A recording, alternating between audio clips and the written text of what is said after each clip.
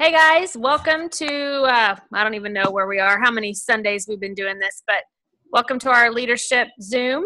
Um, we are doing, let's see, chapter four and five of the book if you're following along in the book. If you don't have the book, it doesn't matter. Um, launching a Leadership Revolutions, the book. And the little quote they had for this chapter was, You must rule yourselves before you can rule others. Mm-hmm. So typically, what what he was saying in the book was typically we you know get through school, we get through college, we might do a master's, we start doing whatever our job is ideally, or we look for a job, you know, whatever the case may be, and then you may get a job, and then you may learn for that job, and then typically at some point you reach the age of our personal comfort with the world and our jobs and all that where we stop learning and our minds can run idle.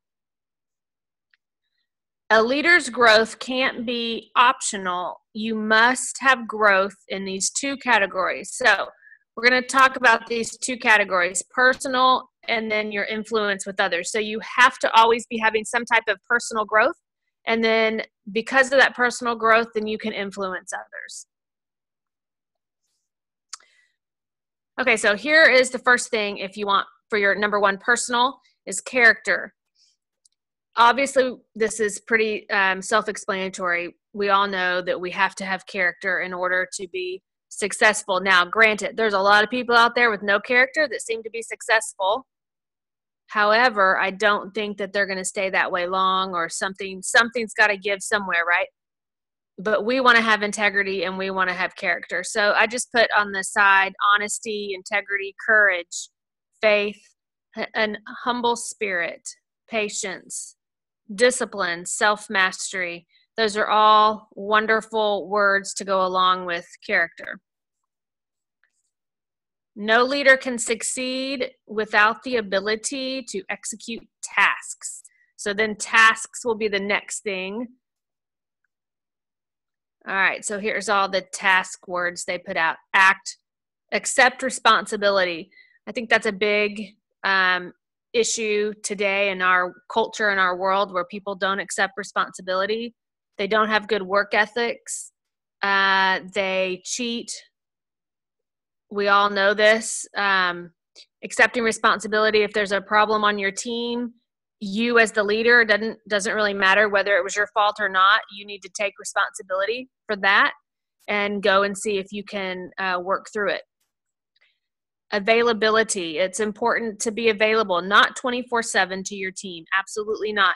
You definitely should set some work hours if you can or at least some hours where you are spending time with your family where you are not quote available 24 7 to your team I'm a people pleaser, and so I typically will respond pretty fast to people. That's just how I am. But there are times when I'm with my family and I really try and turn off my phone. It's a work in progress because, um, you know, I, want to help, help. So all the time. So, um, but do set some boundaries. But you need to have certain hours or certain times of the day that you are available to your team to help them, to help them grow also to your customers if they have questions don't sit around and wait for those customers to have problems and then try and call customer service and then get frustrated. You need to be proactive with them and every couple weeks you're checking in with them making sure everything's okay. And then you don't hear this you know a month later i've called customer i've emailed customer service five times and i haven't gotten a response. You would already know that there was a problem and then you can be the best customer service to your customer. Um, invest time we are investing time in these Zoom meetings on Sunday. You're investing time in your business to be here on this Zoom uh, training. And then I know that a lot of you turn around and do Zoom trainings with your teams off of these. You do trainings with your team, so you're investing time into your teams. Perseverance. This is a marathon, it's not a sprint. Obviously, we all have different journeys we're on the lengthwise. Some of us have been doing it two days, two weeks, two years, and everyone's journey is different. I truly believe God puts you right where He has you at whatever level you are, and He's not going to you know help you rank up and and grow your team until you're ready until your heart's ready and in the right spot It's just my take. Um, and then, of course, another task is execution. Can you do the things that you need to do when you need to do them? All right, and then relationships. This network marketing business is completely different than any other one out there. I, I know most of you already know this, but some multi level marketing companies, you want to be the only one on your street. With Plexus, it doesn't seem to matter. Or it's different. It, it's not necessarily you have to have great relationships with people in order to do your business. Whereas Plexus is somehow, and I don't really know how to describe it, but it's just different. Um, so in your relationships, you need to be accepting of people. Obviously, we're going to have people of different um, religions, races, everything. You know, we're we are all different. We all think differently. We all have different love languages. We all learn differently. And so you have to be accepting of people and and their differences and find out what those are so that you can help them use their strengths to help you and not necessarily think about you know what they're not strong at but help them in their strengths approving of people appreciate appreciate people. I think that we're all really good about that, encouraging our team whenever something exciting is going on. Um, I've seen lots today on Jaime's page of someone signed three today. Uh, Nicole, I think her name was. I haven't had the pleasure of meeting her yet, but just sticking things on your on your Facebook page whenever you know they have had turned silver, turned gold when they rank up. You guys are really good at that. So keep doing that because people will come back when they're appreciated always seeing the good in people. I think we will look at someone or read somebody's post or read something into somebody's post that they didn't mean. I think we're very good at doing that. I know that it's so important to try and see things from their point of view and just always it's hard but if you could always just try and i don't know what's the word i'm looking for um see it from I, I don't really know the word i'm looking for but see it from their point of view where you're not you know put yourself in their shoes and think well did she really mean it that way? Probably not. Am i internalizing this? Am i am i taking it you know personal? So try and see the good in in people and know that they're not you know out to get you. They they very well uh, may not have meant anything by whatever the comment that they said. Um, encourage people. We already talked about that and then others first. To me this is a job of serving serving others first is the true ultimate act of, of christ. And as a christ follower that you are serving others. Same with your marriage. Not that this is a marriage conference but hey same thing with your marriage. You are serving your spouse. You are serving your team. All right. That is pretty much all of chapter four. So i'm going to go ahead and go into chapter five just because both of these chapters were small and we missed last week, so we'll get caught up. Five levels of influence. Now, five levels of leadership we're going to get into later on. This is talking about there's five levels of influence. A true leader inspires others to lead themselves. So we've kind of already touched on that a lot that as a leader, you want to create more leaders, not followers. So here are the five levels of leadership I'm going to start at the bottom and work our way up. All right, so the first level of leadership is what you start as as a leader in whatever company or whatever thing you're whatever you're leading. Position, the level of rights. So people follow because they have to. So you could argue that I signed up under Melissa, so technically I quote had to follow her because her position was above me. Now, our business is different. You know, this book wasn't necessarily obviously written for Plexus ambassadors. It was written for um, anyone that um, had, you know, basically a job or um, any type thing like that. So some of these you just kind of have to kind of make your own definition as far as how they relate with your Plexus business. But so position, people follow you because they have to. You have positional leadership. You are the boss. They don't have a choice. They have to follow whether you want your leadership or not, whether they want your leadership or not. So what's fun about Plexus is that if I say didn't like Melissa's leadership, then I could go off and I could do my own thing, right? But here's what I've learned that's not true. I love Melissa's leadership. I'm just doing that as an example.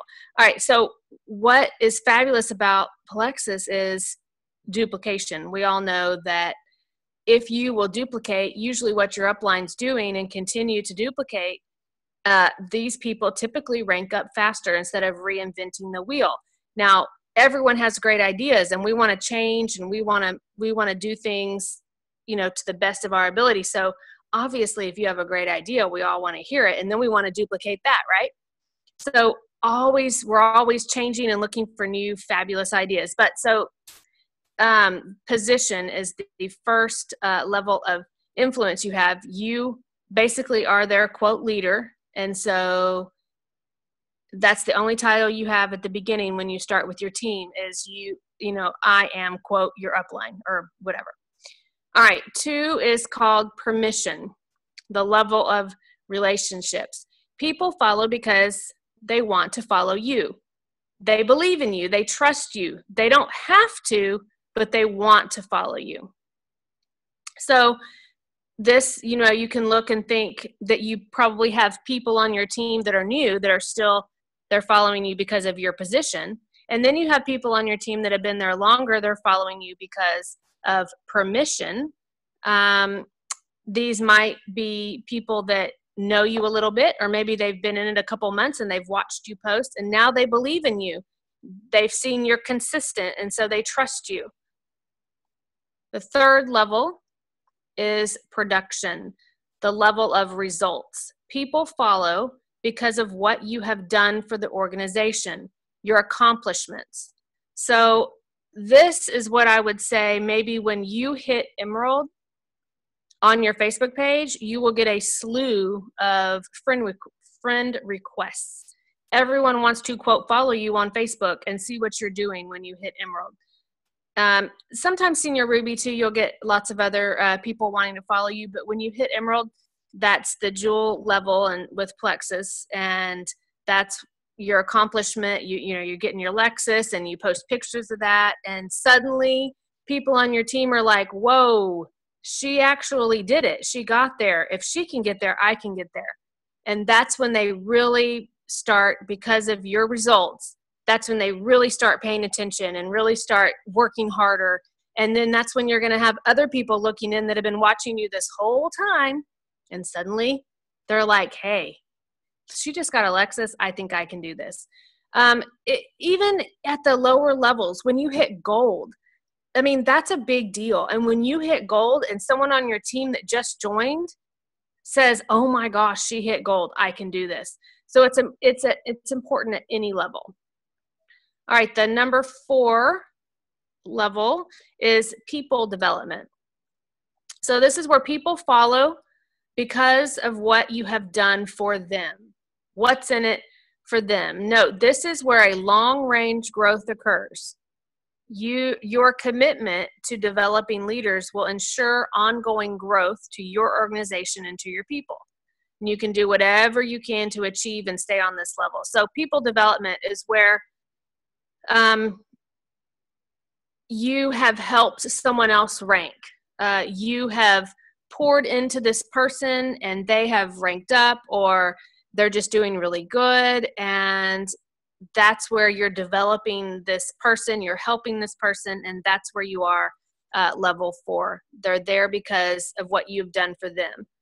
And i think the longer you have people on your team and the longer you're serving and helping them you know that's where they go so i think in our business we can have people under us at all these different levels Okay, the number five level of influence is personhood. Personhood.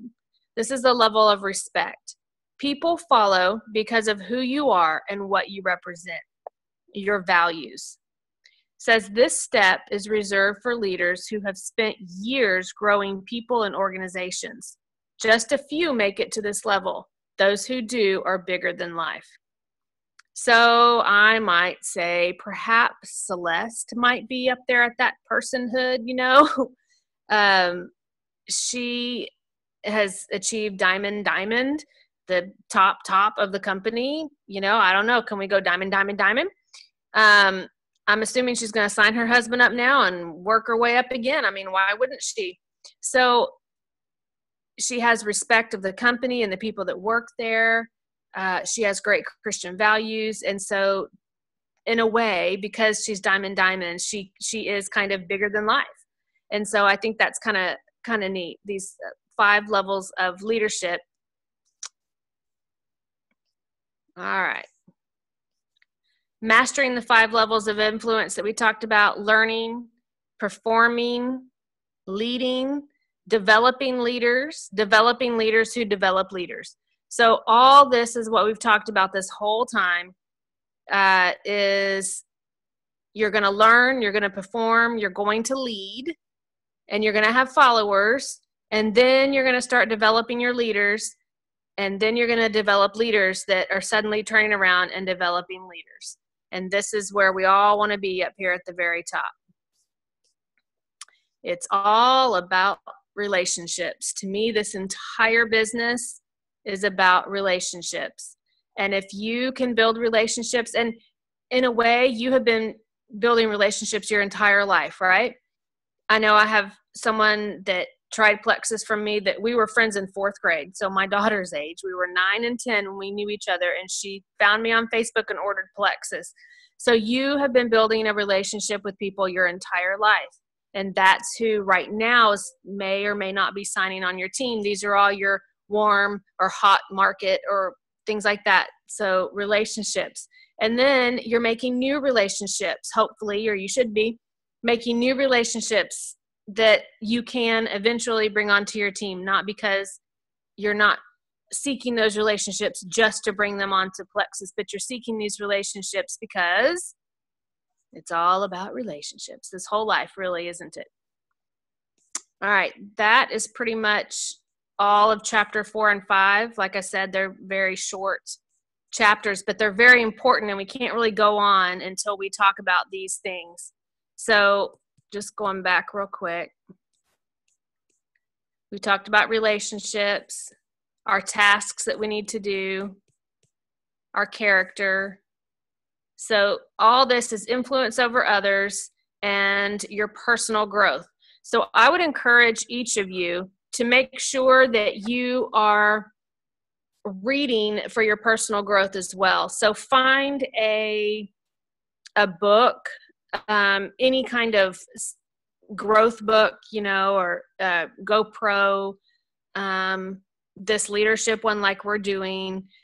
Any of those, uh, Failing Forward is really good. There's so many good books um, that you can be reading, and I would encourage you to maybe read a chapter a day or a chapter a week, you know, whatever you can fit into your schedule. But I would encourage you to always be growing and always be seeking opportunities to grow. Um, if you're not to the point where you're speaking at meetings yet, I would encourage you to start stepping out and maybe start with saying the prayer at a meeting at the beginning, if y'all do that at your meetings, or getting up to pass out gifts is a really good thing.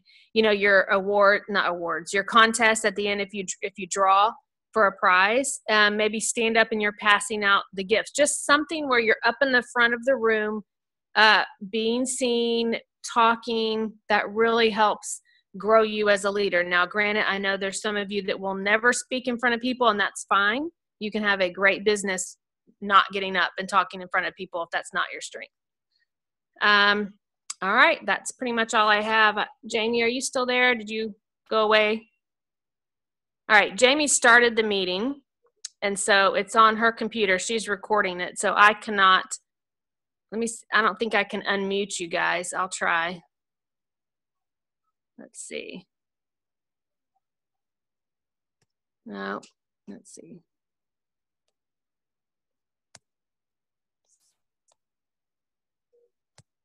Shoot, I cannot unmute you guys. I think only she can since she officially started the meeting. All right, hold on just a second and I'll see if I can um, text her and get her to come back.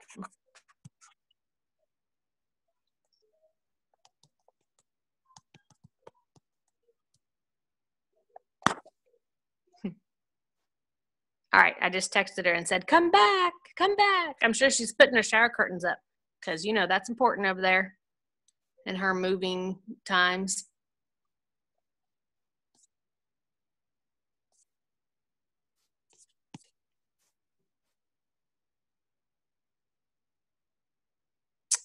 All right. Well, if she's not coming back, oh, there she is! Yay! Hey, will you unmute us?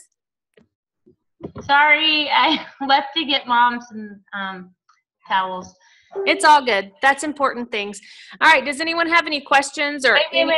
I, I, they're not unmuted yet. Hold on. Okay. Well, as she's Now you are. as she's unmuting y'all, um, if, if y'all have any questions over anything, not in what we just talked about, but anything over um, maybe convention, anything, fire away. I have a question real quick, if you don't mind me asking. Um, Just right before this meeting started, I got a message from about the third person this weekend that, um, you know, attempted to change their backup order. Uh, One of them was an ambassador, two were customers. And they haven't received their orders and it's way past. I mean, they didn't even, one of them said she wasn't even charged. The other two mentioned, so should, should they call or should I call or I don't know, what is this a, an ongoing problem or? I just, Uh, it's funny, I heard from so many in a short period of time. I haven't, I mean, I haven't heard anything recently, but you're welcome to send Jaime or I the information and we will try and help you out or look it up. Okay. Thank you. You're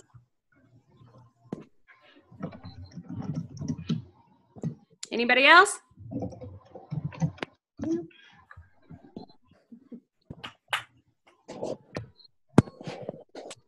Okay. Well, it was short and sweet tonight. Good Thank job, you. Sam. All right, guys. Thank you, Y'all have a great guys. night. We will see you next Sunday. Bye. Okay, bye-bye. Bye, guys. Bye.